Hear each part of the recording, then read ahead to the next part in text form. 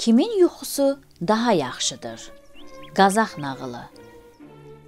Günlərin bir günündə 3 ovçu, 2 saqqallı varlı və bir saqqalsız yoxsul quş ovlamağa yola düşdülər.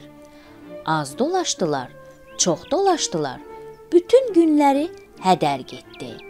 Yalnız axşama yaxın bir dovdaq quşu vurdular.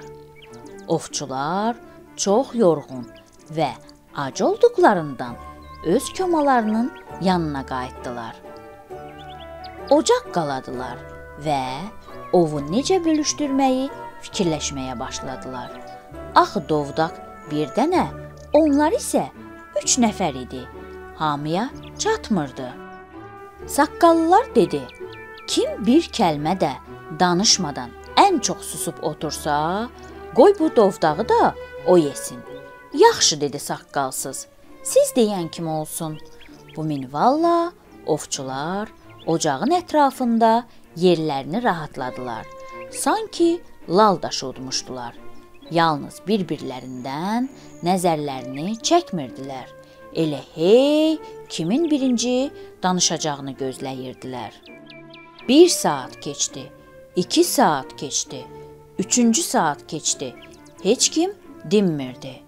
O zaman saqqalsız dinməzcə dovdağı götürdü və onun tüklərini yolmağa başladı. Saqqallılar ona baxıb susurdular. Saqqalsız dovdağın tüklərini yolub qurtardı. Sakitcə qazanla birlikdə ocağa qoydu.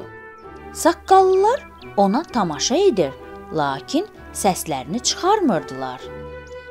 Beləliklə dovdaq bişdi. Saqqalsız onu qazandan çıxarıb yeməyə başladı. Saqqallılar yenə də dinmirdilər. Yalnız axırıncı sümüyü gəmirəndən sonra saqqallılar bir səslə qışqırdılar. Sən şərtimizi pozub dovdağı nə cürətlə yedin? Siz yəqin şərtimizi xatırlamırsınız, deyə saqqalsız cavab verdi. Axı biz danışmışdıq ki, kim ən çox sussa, o da dovdağı yeyəcək. Düzdür? Kim birinci qışqırmağa başladı? Siz. Deməli, dovdaq mənim oldu. Mən də onu yedim. Mübahisənin heç yeri yoxdur. Saqqallılar saqqallarını qaşıyıb razılaşmalı oldular. Nə etməli? Saqqalsız haqlı idi. Çarəsiz qalıb ac yatmalı oldular. Ertəsi gün ovçular iki qaz, bir cüllüt vurdular. Bəs indi ovumuzu necə bölüşdürək? deyə saqqallılar soruşdular. Saqqalsız cavab verdi. Baxın, siz 2 nəfərsiniz, mən isə təkəm. Qaz 2 dənədir, cüllüt isə 1 dənə. Siz özünüzə cüllütü götürün. Mən də 2 qazı. O vaxt sizin də sayınız 3 olacaq, mənim də. Yox qardaş, sən deyəsən bu dəfə də bizə kələk gəlmək istəyirsən, deyə saqqallılar dil-dil ötdülər. Hamı bilir ki, qaz cüllütdən yaxşıdır.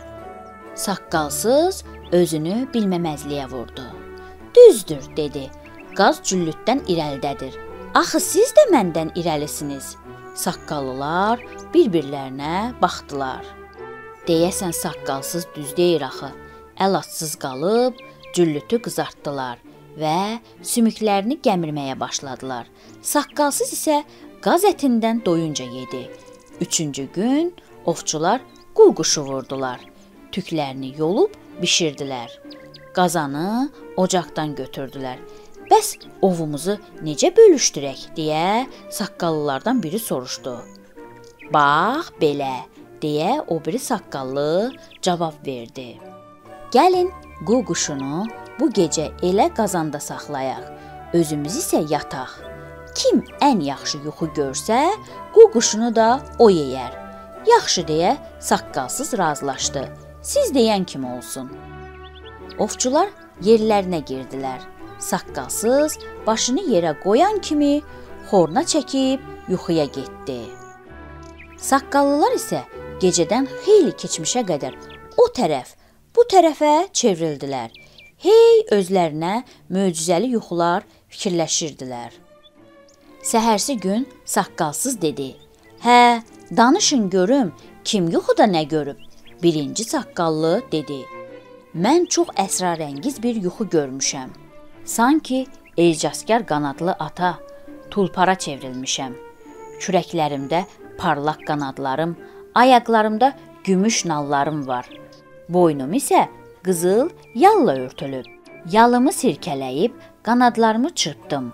Ayaqlarımı yerə vurub üç sıçrayışla çöllüyün bir başından o biri başına çatdım. Bu zaman qarşımda bir batır peyda oldu və mənim belimdə oturdu. Mən güclü atlı ilə birlikdə elə şahanə qalxdım ki, ayaqlarımın altında yer görünməz oldu. Birdən başım hərləndi və mən yuxudan oyandım. İkinci saqqallı dedi: "Sənin yuxun əlbəttə ki, yaxşıdır. Mənim yuxum isə səninkindən də yaxşıdır. Yuxuda gördüm ki, sənin yuxuda gördüyün naməlum və əsrarəngiz batır, elə mən özüm idim. Bir də nə görsəm yaxşıdır. Sən tulpara dönüb qaçaraq mənə yaxınlaşırsan. Mən tez sənin belinə mindim.